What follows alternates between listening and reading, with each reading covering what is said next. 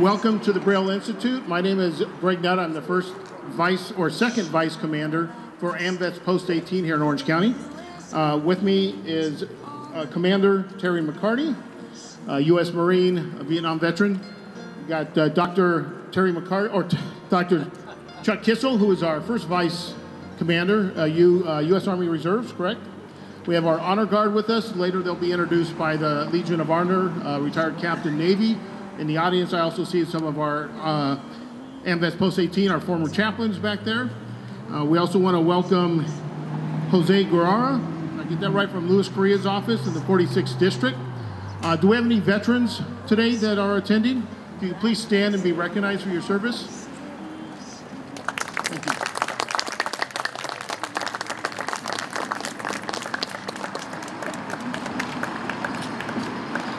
So I wanted to, thank you.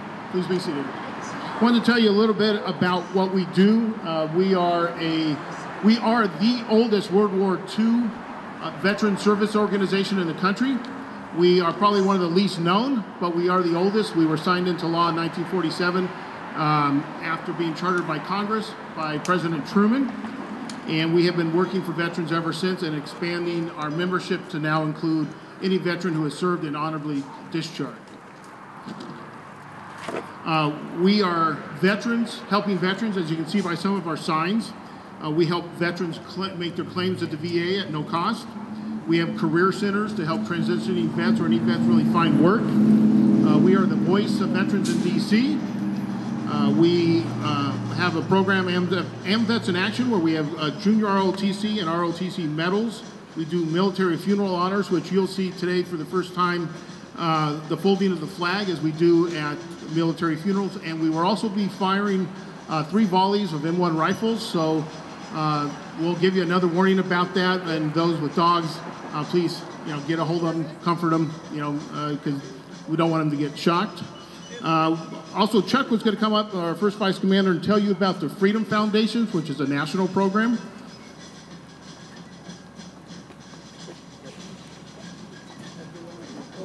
Good morning. Uh, and again, thank you for coming and attending this um, uh, event because we feel that it is important to give back to the community. And you're part of this community. Um, you fly the flag, and that's important to us. Uh, the flag is the um, uh, symbol of the nation, as you know. And we're responsible for sending back students, uh, usually um, high school people that uh, at least sophomores, sometimes even seniors, uh, back to Valley Forge uh, for uh, uh, a leadership historical um, interlude with respect to how the Congress reacted and how the militias reacted and were trained uh, back in Valley Forge during that encampment. that work has been done um, since about 1985 and it's done every year. Uh, I've been to 15 of them. I did not go this year, but um, uh, these things are important to us. Uh, besides that, uh, we are also responsible for a Carillon program uh, that um, rings the chimes of freedom um, in most federal cemeteries, including the ones that are overseas, as well as non-federal cemeteries um, but that is not inclusive for just um, cemeteries. That could be done even for businesses such as yourselves um, uh, or other kinds of companies. We also have a program whereby the, um, the service officers outside of the state of California um, are operated through the national organization, and those, those service officers are in 21 states. Um, is only in 40 states, uh, and that's our coverage uh, since 1947. So those are some of the things that we do at the national level, and I'm kind of speaking as a national person here. Um, I'd like to uh, bring uh, Commander McCarty up, who'll uh, address some of the things that we do locally because we're the only Orange County post uh, that AMVETS has. Um, so uh, if you want it done, we're the ones that wind up doing it locally. Terry?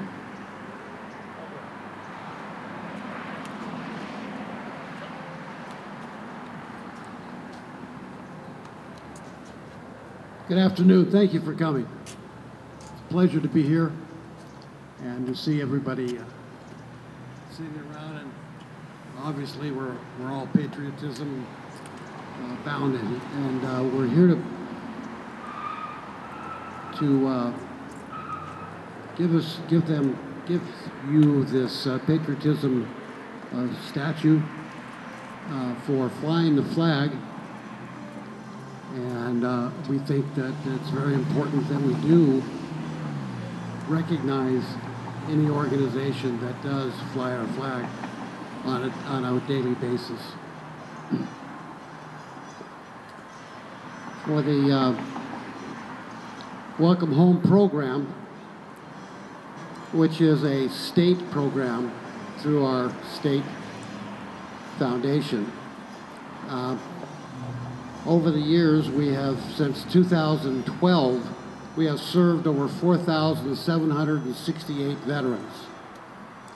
Uh, what we do is we find honorably discharged veterans.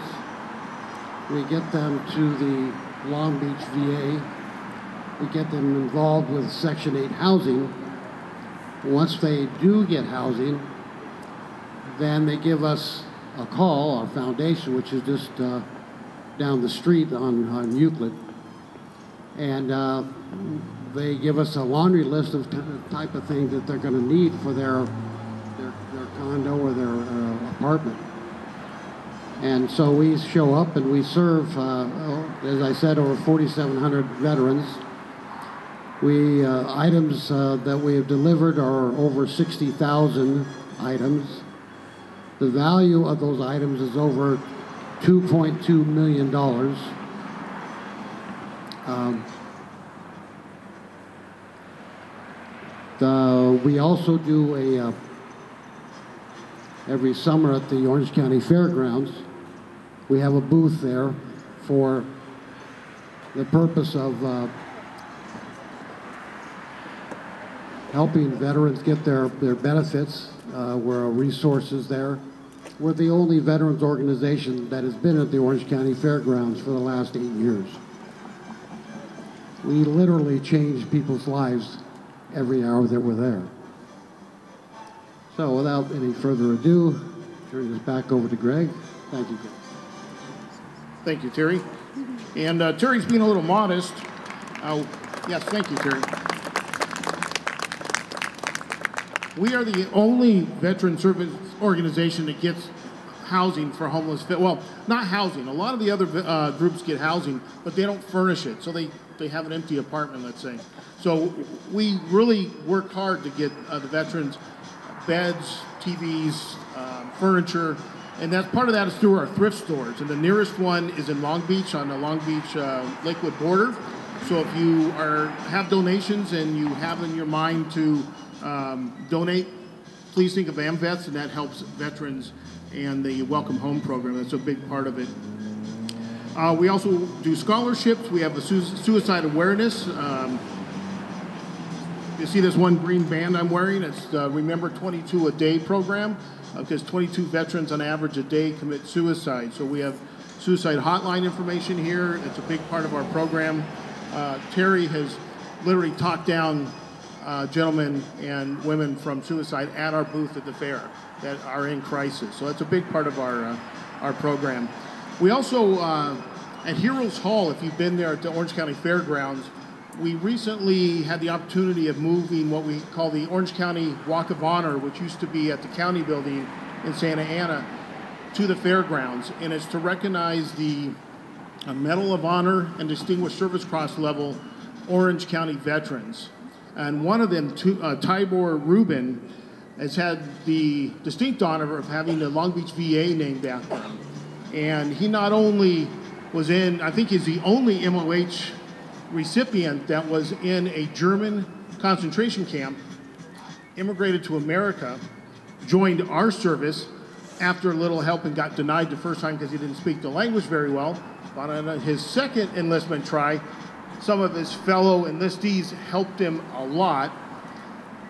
Went to Korea, had a, uh, a company sergeant who was very anti Semitic and sent him on the worst missions documented true facts that other soldiers uh, witnessed, was nominated by his commanders, two of which died after suggesting he be looked at for the MOH, and the sergeant never passed it along. So years later, when they were re-looking at stories and actions, found that Tibor was definitely um, deserving to be a recipient of the Medal of Honor, and he spent countless hours at the VA volunteering, and then later was named for it. I've actually seen his son on many occasions at the Walk of Honor. I'll just happen to be there, and I'll see him in a distance at his dad's plaque, just you know, uh, you know, remembering his, his father. Uh, and this, yeah, the citation is there, and I have a copy of here. I don't think I could read it today. It's already choking me up a little bit. Um, let's see. Also, I wanted um, Chuck to come up one more time. Chuck is a world-renowned expert on the American flag, from where it started to where it is now, and we do have some of his books that are right up here. So, Chuck, one last time, why don't you come up and tell us a little bit about your uh, your flag book? Uh, the people at the Institute here um, have uh, received copies uh, several months ago, but there's certainly more available if needed. Uh, for the rest of the new audience, there's some up here. Uh, the American flag was kind of uh, not thunk up and done.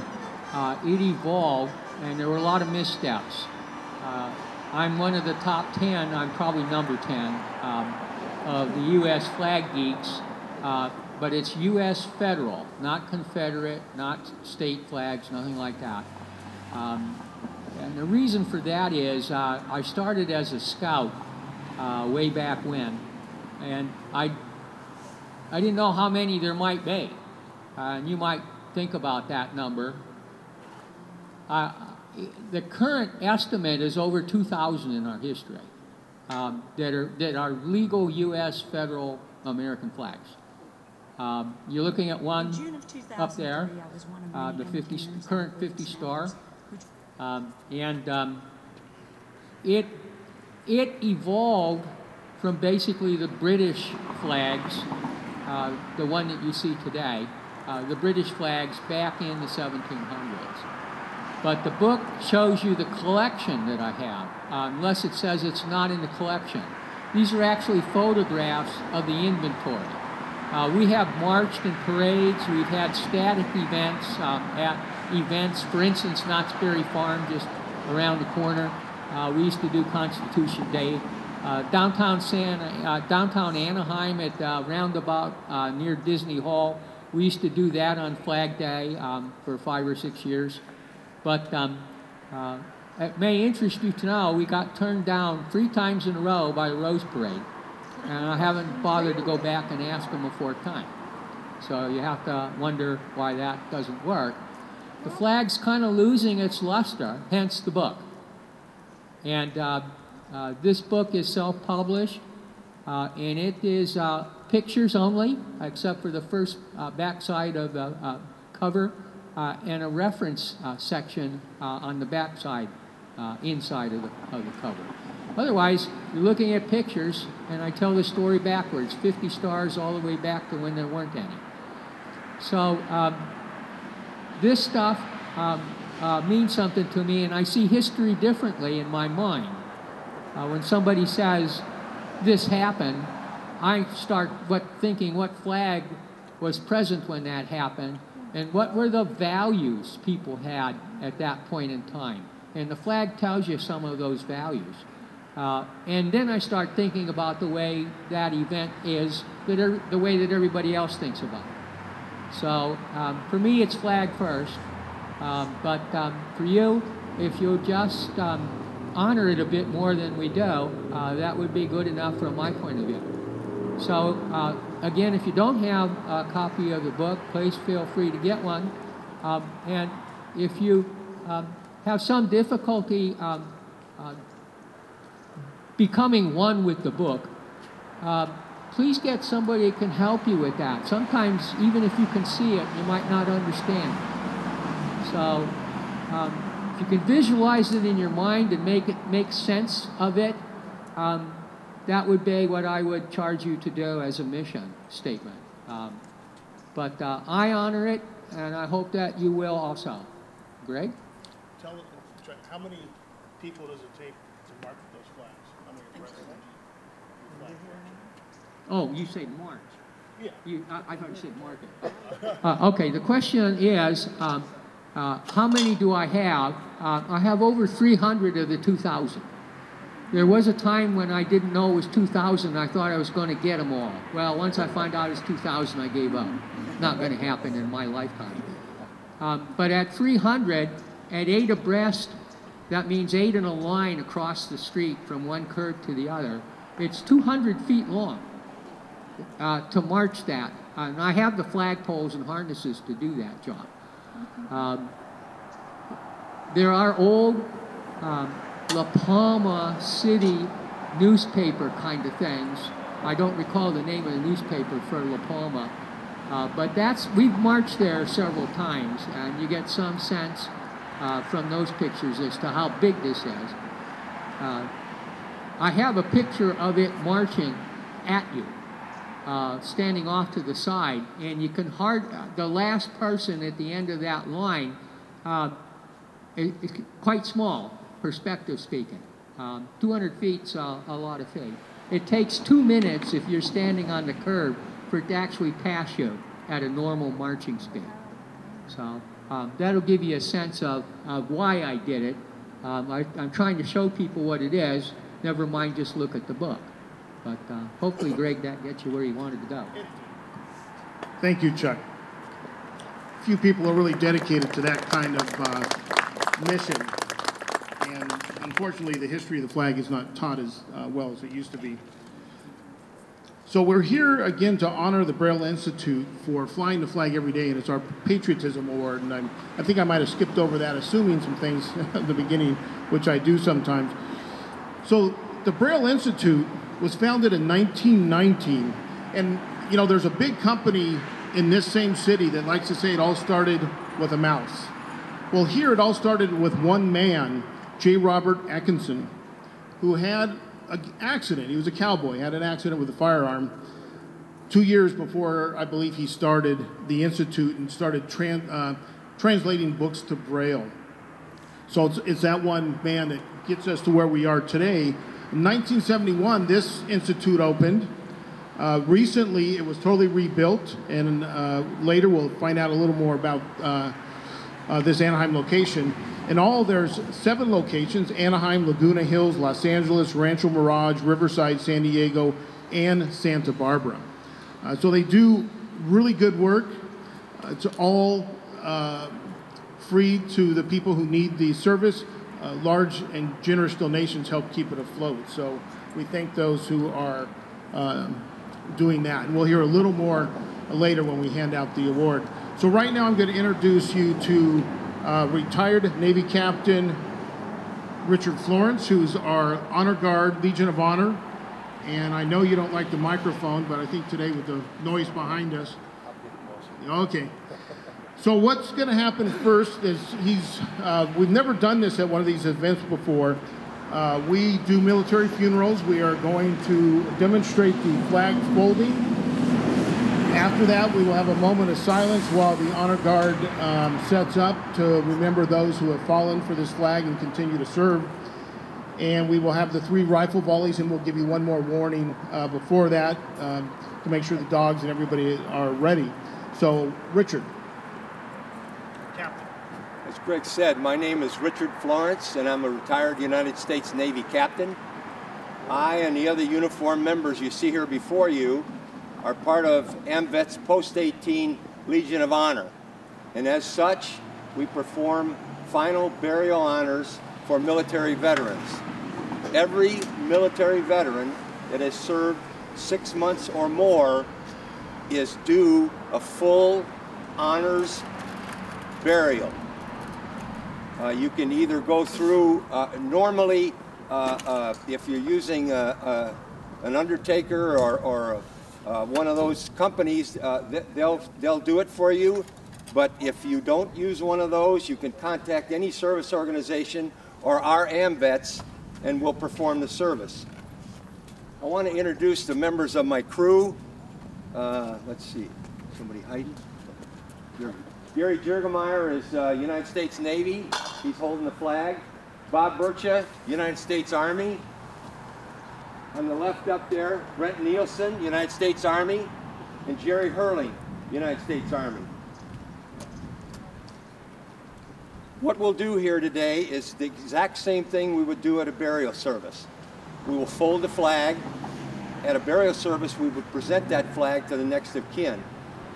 Uh, after which, our, our rifle team fires three volleys, and then our bugler will play taps. I would ask uh, those that can stand, veterans that can stand, please stand and salute. Uh, if you can't stand, salute from a seating position. Uh, and the others, please put your hand over your heart. Just a note about, uh, about that flag that Greg talked about that you fly here. Um, sometimes the flying of a flag becomes second nature to the people that, that are around it every day. Uh, but I can tell you that as a veteran, every time I pass an organization, no matter who it is, private, public, government, it, it it, it makes me feel proud to have served in the United States military. So I want to thank the, uh, the people that are responsible here for flying that flag and, and hope you'll do it forevermore. So thank you.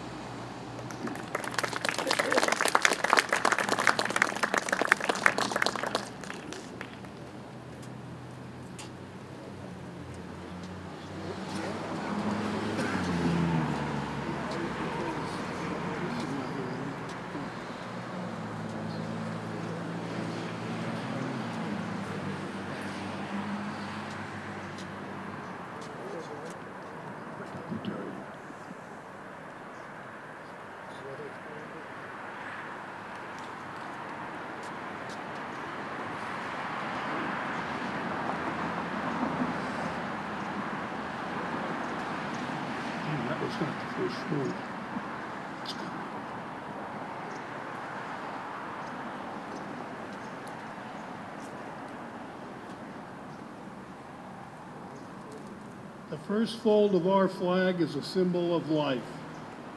The second fold is a symbol of our belief in eternal life. The third fold is made in honor and remembrance of the veterans departing our rank who gave a portion of their lives for the defense of our country to attain peace throughout the world. The fourth fold represents our weaker nature. For as American citizens trusting in God, it is to Him we turn in times of peace as well in times of war for his divine guidance. The fifth fold is a tribute to our country, for in the words of Stephen Decatur, our country, in dealing with other countries, may she always be right, but it is still our country, right or wrong. The sixth fold is where our hearts lie.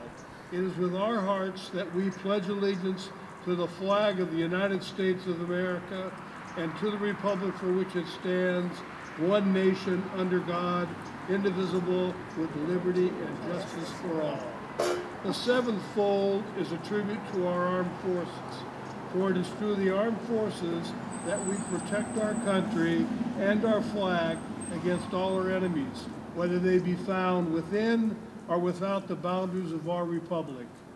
The eighth fold is a tribute to the one who enters into the valley of the shadow of death, that we might see the light of day. The ninth fold is a tribute to womanhood and mothers, for it has been through their faith, their love, loyalty, and devotion that the character of the men and women who have made this country great have been molded. The tenth fold is a tribute to father, for he too has given his sons and daughters for the defense of our country since they were first born.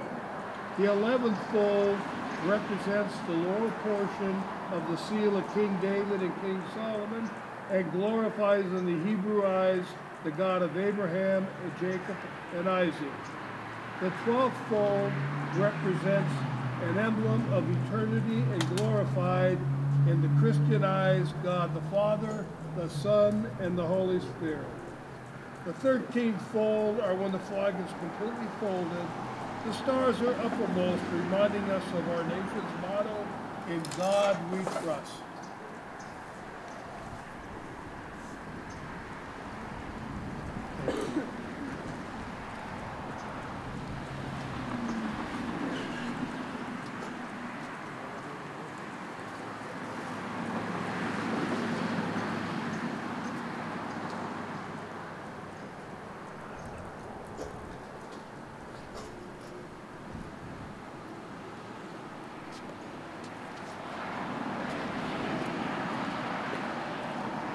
It's at this point that the commander would be handing the flag to the recipient, uh, the next of kin.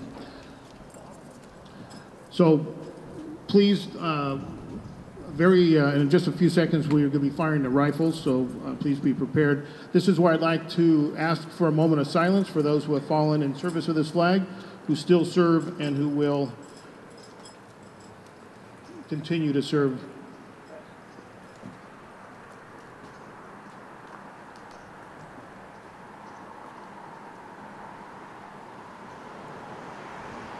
Right, Commander?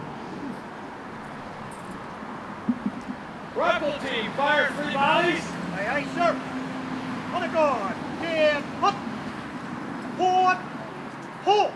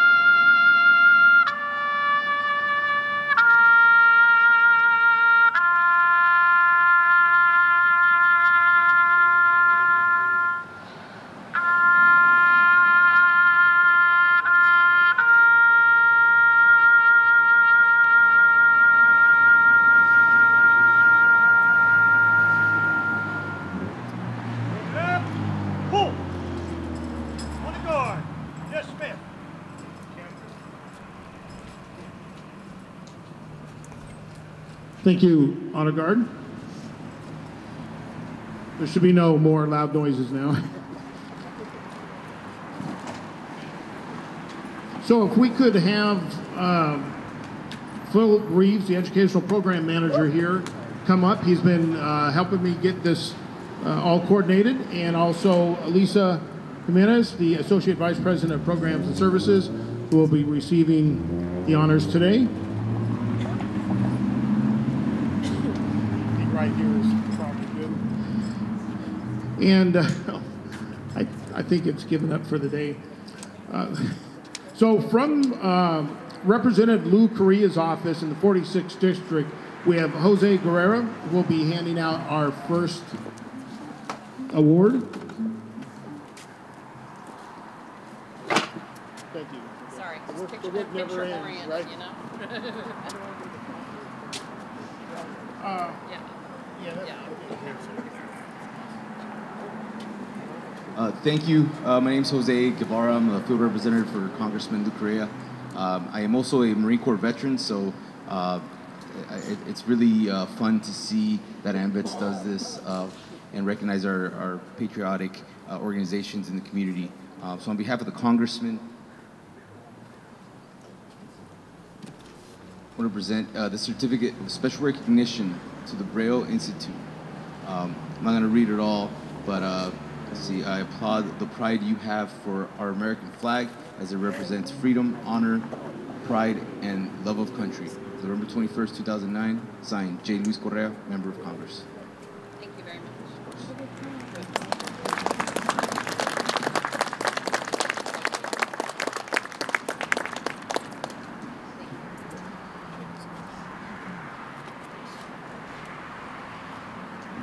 And just in case anybody else slip in that I didn't recognize earlier, okay. All right, so if Terry, if you want to come up and present uh, the award. Yep, this is, you can lay down. yeah. So I will read uh, what's on our award. It's a Patriotism Award, AMVETS California Post 18. In recognition and appreciation for displaying the American flag each day, it is an honor to present this award to the Braille Institute. Your patriot, patriotism for our country as an inspiration to all. And to, George, uh, to quote George M. Cohan, you're the emblem of the land I love, the home of the free and the brave. Thank you so much. Thank you.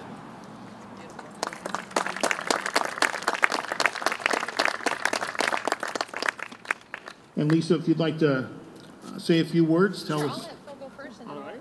he's going to talk a little bit about it. I just want to say thank you so much uh, for all of this. This is amazing, and it's just been. Uh, thank you for coming by. Thank you for continuing to do what you do, the American flag, and I definitely learned something today, especially uh, 2,000. You said 2,000 different flags. That's pretty amazing. I didn't know that. Definitely, I learned something today as well. Uh, you know, Braille Institute, as mentioned earlier, has been around for about 100 years, and we're hoping to be around for 100 more to continue to work with individuals who are losing their vision, uh, to continue to support our veterans who are losing our vision as well. I know we have quite a few veterans here today, and the Institute uh, as a whole uh, works with uh, quite a number of veterans.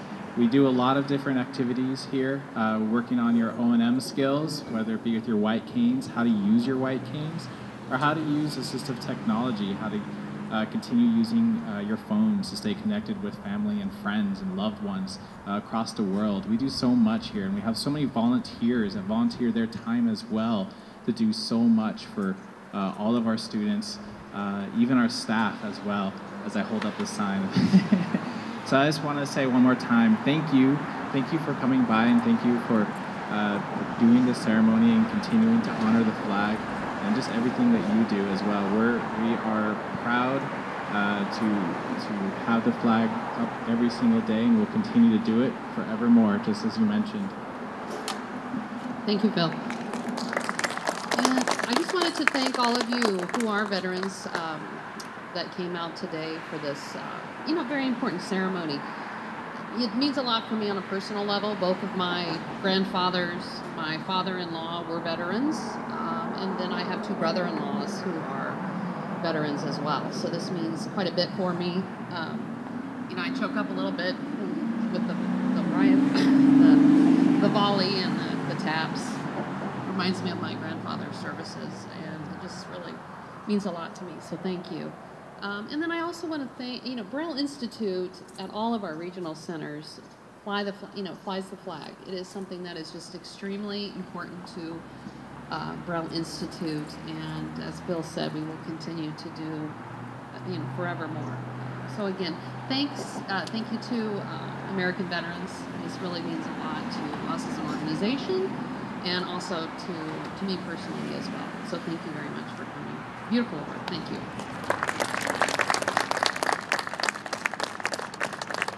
Thank you for all uh, for attending. Uh, we do have some information about um, our post here, membership. Also for uh, we have a flyer about our Legion services for military funerals, suicide awareness, um, homeless program, a flag book, all that. So please feel free to uh, come up and uh, take a look at that or ask us any questions if you do.